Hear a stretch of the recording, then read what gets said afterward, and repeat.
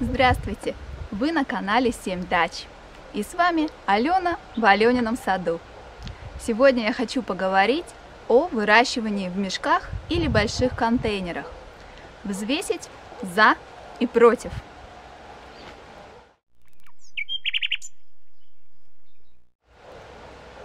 Выращивать в больших полиэтиленовых мешках я стала года три назад. А, мотивация моя была такова. Участок мой был заброшен, вскопанной, облагороженной земли и почвы было очень мало, а выращивать хотелось сразу же, выращивать всего много. И тогда я стала использовать пластиковые мешки. В этих мешках за три года я уже успела вырастить многое. Я выращивала в них лагинарию, я выращивала тыквы, я выращивала кабачки и патиссоны. Также у меня выросла в мешках кукуруза. Я посадила в них огурцы, и они тоже выросли. И самый большой эксперимент – это выращивание картошки в мешках. И, как вы понимаете, опыта у меня уже использования этих мешков достаточно много. И сейчас я хочу рассказать, Почему мешки? Почему я за мешки? Во-первых, эти мешки – это общедоступная и дешевая тара, которая не занимает много места при хранении и которую не жалко выбросить, если что. Но мешки эти, они многолетние. Если вы купите хорошие прочные мешки для строительного мусора, то они вам прослужат минимум 3 года. Во-вторых, в принципе, выращивание в мешках или в контейнерах, чем оно хорошо? Если у вас небольшой участок, а может быть у вас вообще нет участка, и вы выращиваете на террасе, на балконе, на каком-то бетонированном основании где-то, ну, тяга выращивать ведь она непреодолима, если хочется выращивать, то можно где угодно это сделать, то тогда, конечно, сад, огород в контейнерах, это для вас.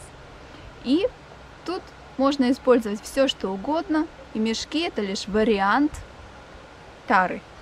Третье их свойство – это то, что их не нужно оставлять постоянно на одном месте. Это не стационарная грядка, которую построил, вложил средства, и ты не будешь ее переносить ежегодно. А мешки можно ставить то в одно место, то в другое место. В этом году в одном углу стоят, в следующем году в другом углу.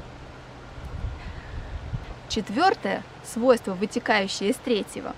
Если вы будете ставить несколько мешков на целину, то у вас под мешками пропадут любые сорняки, в том числе и даже многолетние, например, сныть. Это я проверила на собственном опыте.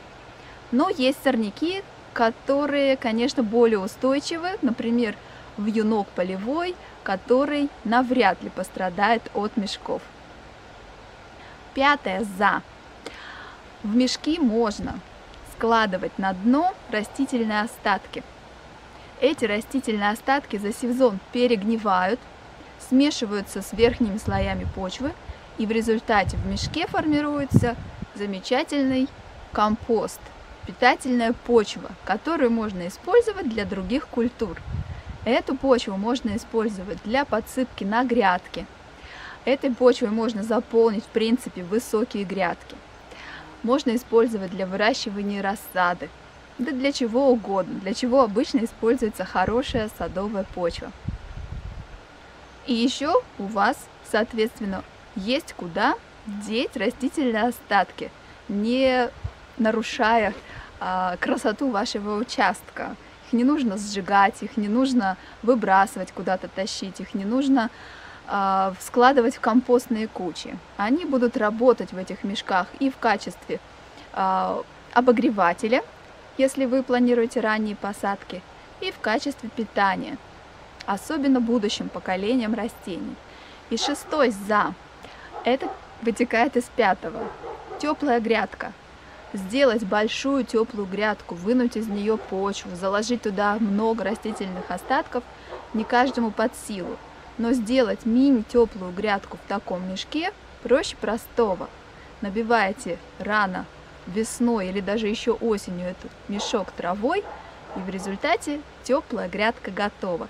Таким образом я выращивала ранние огурцы в теплице. Это, пожалуй, основные положительные моменты использования мешков для выращивания. Ну, можно подумать, что нет отрицательных. Конечно, отрицательные есть. Во-первых, это достаточно трудоемкий процесс. То есть, если вы имеете высокую грядку, на которой вы применяете мульчирование, и вы эту грядку не копаете, и, в общем-то, подходите к ней только чтобы посеять или собрать урожай, то с мешками будет немножко больше работы. Мешки нужно заполнить, а, утрамбовать, нужно поставить их куда-то, к мешкам принести эти растительные остатки и почву. Если вы планируете эти мешки э, где-то поставить подальше от глаз, например, да? Вот. Так что работы побольше. Но опять же, если у вас есть высокие грядки, стационарные грядки, или вас устраивают ваши обычные огородные грядки, то, конечно, выращивать в мешках нет никакого смысла. Я не советую это делать просто так. Можно это сделать ради эксперимента, но просто так зачем, если есть достаточная площадь земли для нормальных обычных посевов. И второе против – это – Безусловно, как в любом цветочном горшке, почва пересыхает. Также она будет пересыхать и в мешке. Поэтому, если у вас засушливое, сухое, жаркое лето, то нужно будет позаботиться о постоянном регулярном поливе. У нас в нашем регионе такое лето большая редкость, у нас постоянно идут летом дожди, и у меня проблем с поливом совершенно нет.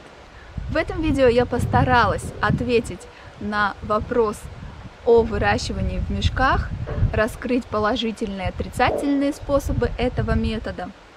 Не забывайте подписаться на канал 7 дач, ставьте лайки, комментируйте. Всего вам доброго и до свидания!